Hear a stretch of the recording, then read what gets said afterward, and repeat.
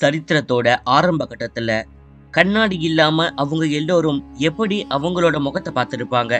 இந்த விஷயத்தை பத்தி நம்ம எத்தனை பேர் கண்ணாடியை பார்க்கும்போது யோசிக்கிறோம் அப்படின்றது கேள்விக்குறியாதான் இருக்கு. கண்ணாடியோட வரலாறு தெரிஞ்சுக்கிட்டோம்னா நமக்கு எத்தனையோ விஷயங்கள் வித்தியாசமாக தெரியும்.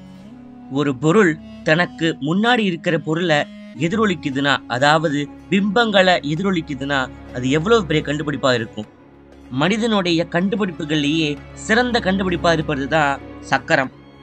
ஆனா அழக மட்டும் நேசிக்கக்கூடிய பல பேருக்கு கண்ணாடியே ஒரு ஆகச்சிறந்த படைப்பாக தான் தோணும். இன்னைக்கான வீடியோல கண்ணாடியோட வளர்ச்சியும் கண்ணாடியை எப்படி வரலாற்றை பயன்படுத்தினாங்க என்பதை பத்தி பார்க்க போறோம்.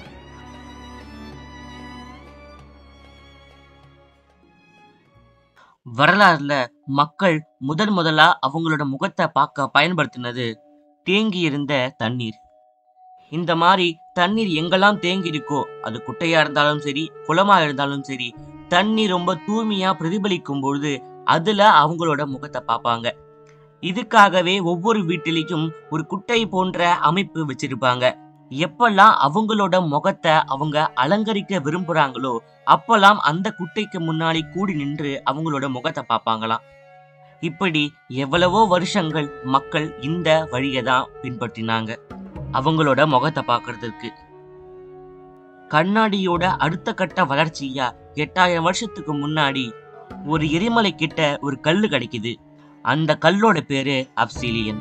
இந்த கல்லை மெருகூட்டும் பொழுது அது நம்மளோட பிம்பத்தை பிரதிபலிக்குது. இத அதிகமா பயன்படுத்திய நாடு அப்படின்னு பாத்தீங்கன்னா அனடோலியா தான். இந்த கல்லை வச்சு மிகப்பெரிய வியாபாரமும் நடந்தது. இத வச்சு ஆயுதம் கூட உருவாக்கியிருக்காங்க. அதாவது ஈட்டிகள் கத்திகள் இந்த மாதிரி சின்ன சின்ன விஷயங்களை இந்த கல்லை வச்சு உருவாக்கியிருக்காங்க. ஆனா அப்சீலியன் கல்லை பயன்படுத்துறதுக்கு முக்கியமான காரணம் அது நல்லா பிரதிபலிக்கும் தன்மை கொண்டது. அதனால அதை கண்ணாடியா பயன்படுத்தினாங்க. இங்க இவங்க இந்த கல்லை வச்சு முகம் பார்த்துட்டு இருந்த அதே சமயத்துல மெசபடோமியால காப்பரை அவங்க பாலிஷ் பண்ணி அவங்களோட முகத்தை பார்த்துருந்தாங்க. இப்படி வெவ்வேறு நாடுகள்ல வெவ்வேறு விதமா அவங்களோட முகத்தை பார்க்க கண்ணாடிகளை பயன்படுத்திட்டு இருந்தாங்க. சில நாடுகள்ல இரும்பையும் அவங்க பாலிஷ் பண்ணி அவங்களோட முகத்தை பார்க்க பயன்படுத்தினாங்க. ஆனா இது எல்லாத்துலயுமே ஒரு பிரச்சனை இருந்தது. கண்ணாடிக்காக பயன்படுத்தப்படும் கல்லாக இருந்தாலும் சரி உலோகமாக இருந்தாலும் சரி அதோட விலை என்பது ரொம்ப அதிகமா இருந்தது. அதை மெருகூட்டுறது அவ்வளவு சுலபமா இல்லை. இவ்வளோ கஷ்டப்பட்டும் அவங்களோட முகம் ரொம்ப நல்லா பிரதிபலிக்கிறது இல்லை இப்படிப்பட்ட பிரச்சனைகள்லாம் இருந்ததுனால அவங்க கண்ணாடிகளை பயன்படுத்த ஆரம்பிச்சாங்க. அப்படி கண்ணாடிகளை பயன்படுத்துறதுக்காக கிரீக் அண்ட் ரோமன் காலகட்டத்தில் எல்டர் அப்படின்ற ஒரு நபர் தாதுக்களை பயன்படுத்தி உருவாக்க ஆரம்பித்தார் அதாவது ஒரு கான்ஃபிளெக்ஸ் மிரர் மாதிரி உருவாக்குனாரு. ஆனால் அப்பா கூட அந்த அளவுக்கு தெளிவான முகத்தை பிரதிபலிக்கக்கூடிய கண்ணாடியை உருவாக்க முடியல. ஏன்னா கண்ணாடியை உருவாக்குறத விட அதுக்கு மெருகூட்டுறது தான் ரொம்ப சிரமமாக இருந்தது. காலங்கள் கொஞ்சம் கொஞ்சமாக கடந்து போகுது. நம்மளோட உலகத்துல வியாபாரமும் ரசாயனத்தோட வளர்ச்சியும் அதிகமாகுது. இதோட விளைவா முதன் முதல்ல பிரான்ஸ்ல கண்ணாடிக்காகவே ஒரு தொழிற்சாலை உருவாக்கப்படுது. ஆயிரத்தி அறுநூத்தி அறுபத்தி ஐந்துல சென்ஸ் கோபைன் அப்படின்ற ஒரு தொழிற்சாலை கண்ணாடியை உற்பத்தி பண்றதுக்காக பிரான்ஸ்ல ஆரம்பிச்சாங்க. இங்கே தான் கண்ணாடியில ஒரு சில ரசாயனங்களையும் தாதுக்களையும் பயன்படுத்தி ஒரு தெளிவான கண்ணாடியை உருவாக்குறாங்க.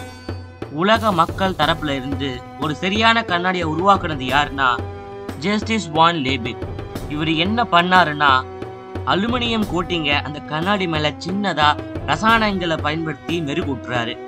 ஒரு சாதாரண சில்வர் நைட்ரேட்கான ரசாயனம் ரொம்ப பெரிய அளவுல பேசப்பட்டுச்சு. இந்த கண்ணாடியோட உருவாக்கத்துக்கு.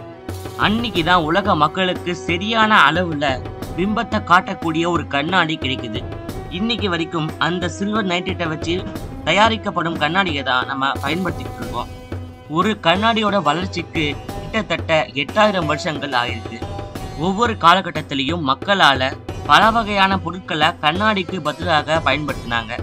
ஆனா சில்வர் நைட்ரேட் கோட்டிங் கொடுக்கப்பட்ட கண்ணாடி தான் இன்னைக்கான நிலைமையில சரியான பிம்பத்தை பிரதிபலிக்கக்கூடிய கண்ணாடியா இருக்குது. இந்த மாதிரி நம்ம மறந்து போன பல வரலாற்று கதைகளை காண நம்ம சேனலை சப்ஸ்கிரைப் பண்ணுங்க. அப்பதான் நான் போற வீடியோ உங்களுக்கு வந்து சேரும். நன்றி வணக்கம்.